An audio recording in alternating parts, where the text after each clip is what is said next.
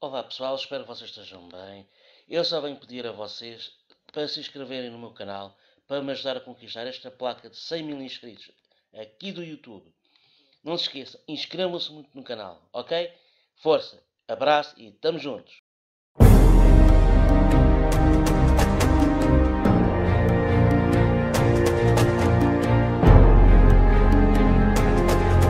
Senhoras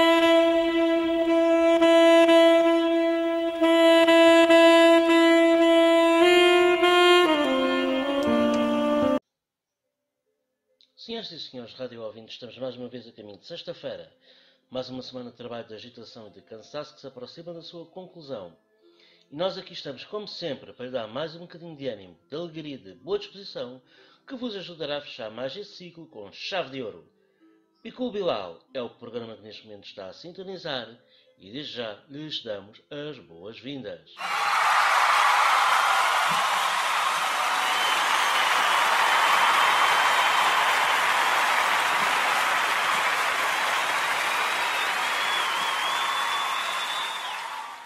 Antes de seguirmos com o programa, inscreva-se no canal, deixe o seu like no vídeo e compartilhe com os seus amigos. Hoje oferecemos um alinhamento cheio de maravilhas selecionadas especialmente para si, por cortesia do nosso querido Bilal. Este é o programa número 65. Eu espero que vocês tenham tido uma ótima semana, cheia de alegria, cheia de diversão, com muita saúde. Isso é o que todos nós aqui no podcast Picu Bilal nós queremos. Aqui na Amadora tem estado assim um tempo mais esquisito, uma vez chove, outra vez não chove. é assim, não dá. Ou chove, ou faz sol. Agora tudo ao mesmo tempo não pode ser, não é verdade? Exatamente. E agora, sem mais delongas, sem mais demoras, vamos passar para o quadro que vocês estão a começar a conhecer, intitulado Notícias Grotescas. Roda a vinheta.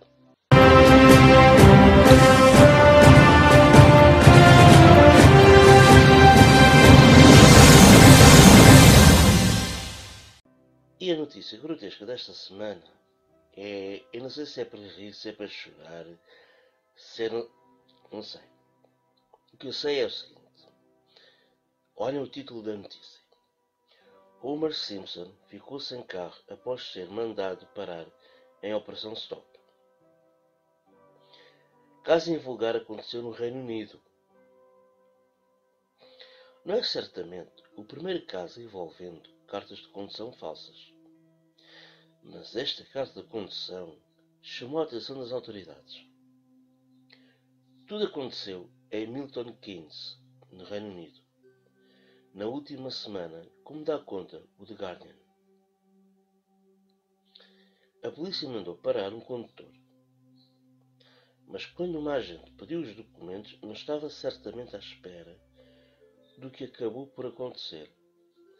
O condutor apresentou-lhe uma carta de condução com o nome Homer Simpson, natural de Springfield. Se estes nomes dizem alguma coisa, a fotografia na carta de condução dissipou as dúvidas condutor tinha mesmo uma carta de condução com foto e o nome de Homer Simpson. O famoso pai da série de animação que já fez história na televisão.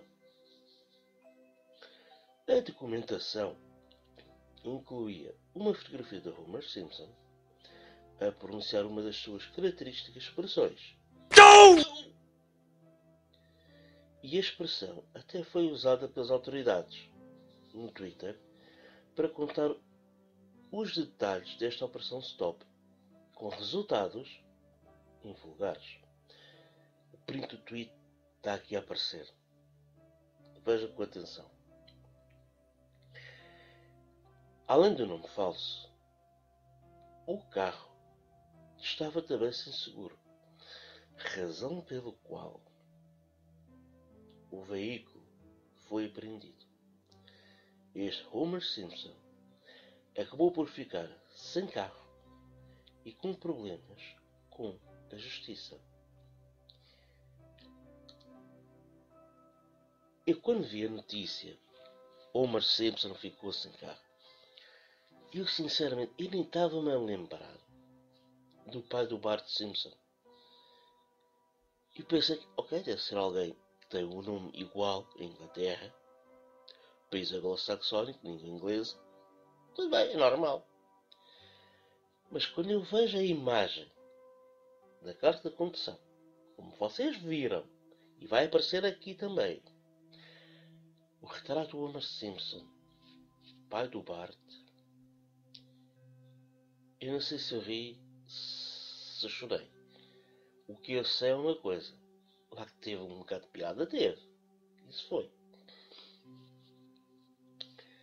E esta foi a notícia grotesca desta semana. espero que vocês tenham se divertido um bocadinho, pelo menos, com esta notícia. E que tenha feito alegrar o vosso dia, a vossa tarde ou a vossa noite. Quem sabe, na verdade? É. E quero pedir a todos uma salva de palmas.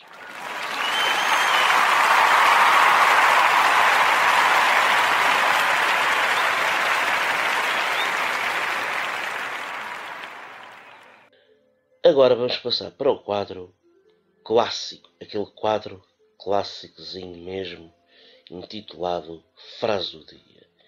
Aliás, da frase do dia até a Ratatouille é aos quadros clássicos. A notícia grotesca, um dia destes começa a ser também clássico, vão ver. A frase do dia desta semana, que é o que agora interessa, diz assim: A cólera também tem privilégios. A glória do tempo é acalmar os reis em conflito. A minha mente sempre governou o meu coração. Muito bem. Esta última merece uma salva de palmas.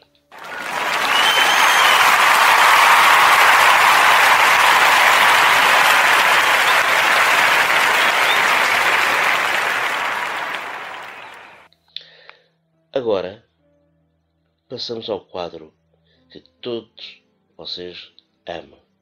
Um dos quadros, intitulado Pergunta que eu respondo. É aquele quadro que aquelas pessoas que andam a estudar, que aqueles cábulas do caneco que, que não querem estudar e querem passar de ano, vêm aqui ao podcast ouvir para passar de ano. Pode ser que ele dê resposta à minha pergunta para a semana ou esta semana. Nunca se sabe. Nunca se sabe que é tu andas a estudar, rapaz. Ó oh, rapariga bonita. Moçoila e moçoila. Vamos agora passar para as perguntas? Vamos, venham daí. O que é inflação? Inflação refere-se a um aumento contínuo e generalizado dos preços numa economia. Isto é bom para estudar a economia. Quanto é uma milha marítima? Uma milha náutica ou milha marítima é uma unidade de medida de comprimento ou de distância equivalente a 1852 metros. Eu vou repetir. Uma milha náutica é uma unidade de medida de comprimento ou distância equivalente a 1852 metros. Não confundir com a milha terrestre, que é outra coisa. Quem, quem fizer pergunta, talvez eu depois possa responder e dizer qual é a distância e a medida. Não tem nada a ver uma coisa com a outra, ok? até quem sabe um dia, um dia eu faço um vídeo especial a, a falar sobre as várias unidades de medida de distância. Ok? Pronto. Qual é o animal com melhor visão noturna? O animal com melhor visão noturna é a coruja. Ela consegue observar um ratinho a mais de 80 metros de distância e isto numa noite sem lua. Estão a perceber? A coruja consegue observar numa noite sem lua um ratinho a 80 metros. Nós, para fazermos igual, temos que usar visão noturna. Aqueles óculos ou, ou aqueles dispositivos que permitem ver à noite, que fica assim tudo verde Vocês lembram-se disso? Às vezes dá na televisão. Não se preocupem. E nós temos quem? A coruja, já com esse equipamento de nascença a, a nível genético para observar à noite. Não precisa de nada. E agora vamos passar ao quadro O que é fixe? O que é chips? O que é fixe? O que é chips? Esta semana diz assim. Fixe é ir passear um dia de sol. Chips é começar a chover no melhor momento. E exatamente. É por isso que quando vocês saem de casa e as vossas mães dizem leva o guarda-chuva, leva o guarda-chuva, leva o guarda-chuva. Repetem tantas vezes que a gente, mas para aqui está um sol lindo, leva o guarda-chuva. E então o que, é que acontece? Vocês não levam, passado um bocado, começa a chover. E vocês lembram assim: Mano, a minha mãe tinha razão. É verdade. Fixe é fazer amor, chips, é ter que aturar colegas chatos. Ui. Colegas chatos e às vezes quando é o patrão chato. Puh, ainda é pior. É pior um patrão chato que um colega chato, meu caro amigo. Ficha ter comida no frigorífico, chips é ter que ver aqueles programas horrorosos da televisão. Olha, eu nem, eu nem digo nada. Vocês veem esses programas horrorosos da televisão? Esqueçam. Venham aqui para o podcast, venham para o YouTube. Venham aqui para o canal. Venham aqui para o Bicul Bilal TV, o canal mais doido do universo e para o Bicul Bilal, programa de podcast. E ainda, está a gostar da nossa programação? Ótimo. Está a gostar do programa? Melhor ainda. Mas agora vamos fazer uma coisa. Você vai fazer pausa, vai clicar onde diz inscrever-se. Esse botãozinho encarnado diz inscrever-se. Clique nele, ao lado está um sininho, clique também no sininho para ativar notificações cada vez que sair vídeo novo aqui no canal. Agora vamos prosseguir com o resto da nossa querida programação do podcast Bicu Bilal, o podcast mais amado de toda a gente, em Portugal e em todo o universo. Agora vamos passar para as piadas tonadas. As piadas tonadas desta semana são assim um bocadinho para o deslocado. É verdade. Diz assim: O que é que o Flash disse à Minha Maravilha antes de dar uma rapidinha? Vai ser bom, não foi?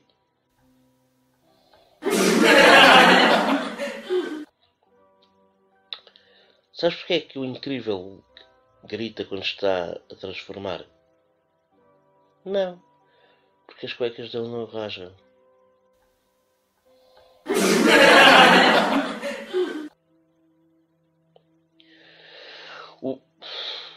Ai, ai. O Hulk, durante uma batalha sangrenta dentro de um restaurante, recebe um golpe e cai bem em cima da churrasqueira. Qual é o nome do filme? Não sei. Tomates verdes fritos.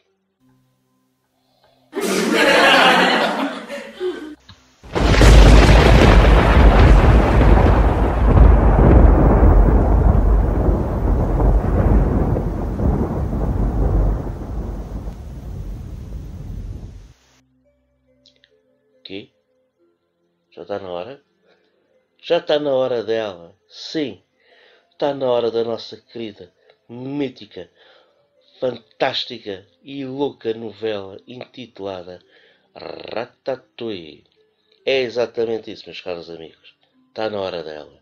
Aquele momento ansioso, aquele momento que vocês todos anseiam. E o que é que vai acontecer nesta semana? Vai acontecer? Sei lá, vou agora ver. Né? De... Capítulo 13 da terceira temporada da novela Ratatouille.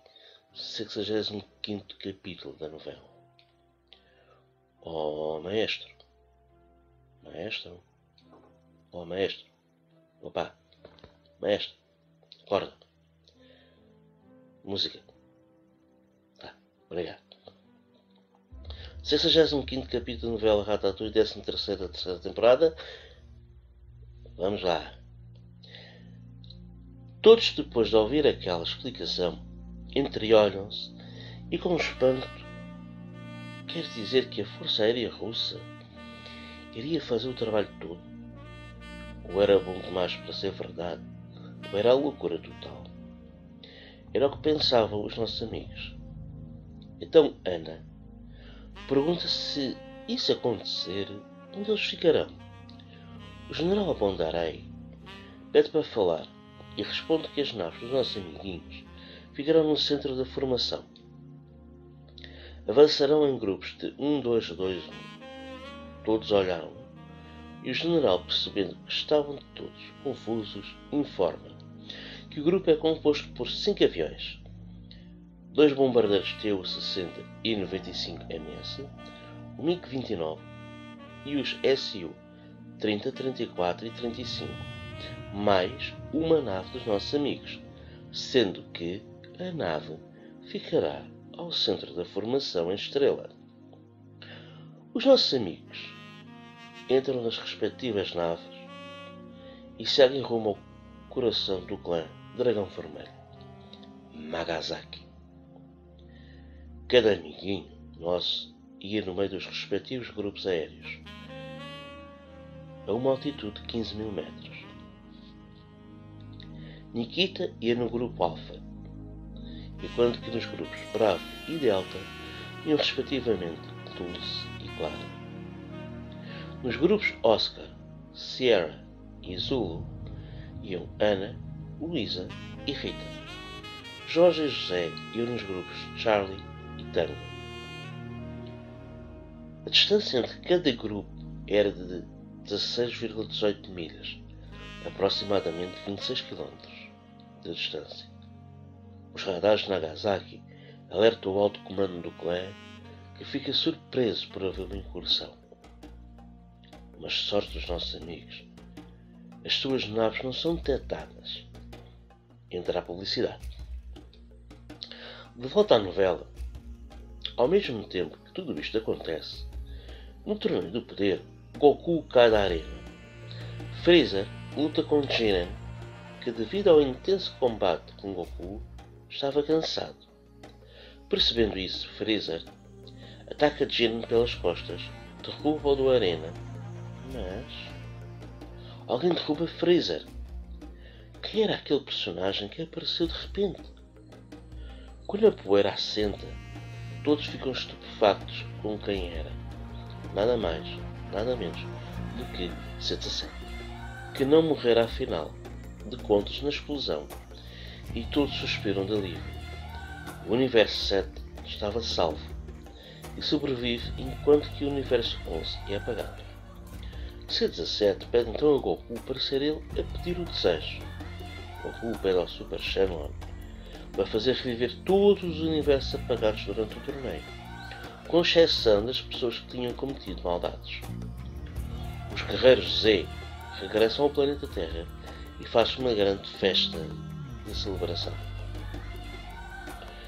Nos radares conseguia-se observar a formação estrela da Força Aérea Russa mas não as naves. Vistes é informado do ataque e dá ordens para contra-atacar. Contudo, as casas da Força Aérea Russa conseguem bater-se ferozmente com o clã, enquanto que os bombardeiros fazem o seu trabalho devastador. Os nossos amigos, graças à capa de invisibilidade, conseguem fazer muitos estragos na cena do clã. Vicious irrita-se com esse facto e ordena para irem atrás dos inimigos. Os subalternos acatam as ordens e vão atrás dos nossos amiguinhos. Acontece que quando as naves restantes do clã tentam levantar voo, elas simplesmente não descolam, pois estavam destruídas. A Força Aérea Russa conseguiu fazer o impensável, destruir a capacidade aérea do clã de um único ataque. Para trás ficar uma mancha de destruição, desde a Bahia quase até às montanhas. A capital do clã estava a começar a ceder. Era uma questão de tempo, pensava José. já que ia juntamente com os nossos amigos a caminho de Moscou, na velocidade máxima. Em pouco tempo, chegam à capital russa. Bondaré está com o seu staff na Praça Vermelha e vê os nossos amigos a chegar. Então estes informam do sucesso da missão e que o clã agora tinha duas hipóteses. Ou contra-atacava ou ficava na defensiva. Bondarei achava que o clã iria atacar. Da mesma opinião era um general. Era um general do exército, Oleg Sayugov, o almirante Viktor Shirkov e o chefe de Estado-Maior das Forças Armadas da Rússia, Valery Gerasimov. Todos saúdam com o célebre Urra! russo, os nossos amigos.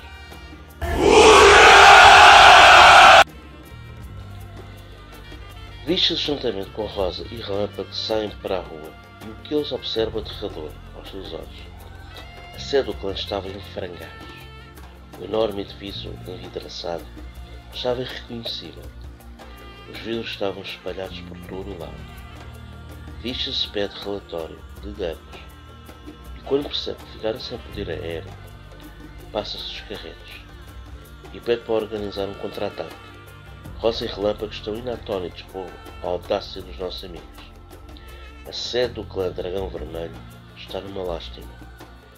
Estas duas personagens não querem acreditar no cérebro. Von Reit, capital do clã.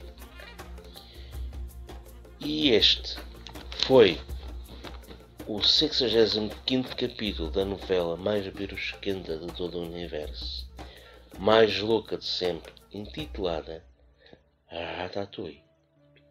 Um grandíssimo aplauso, por favor.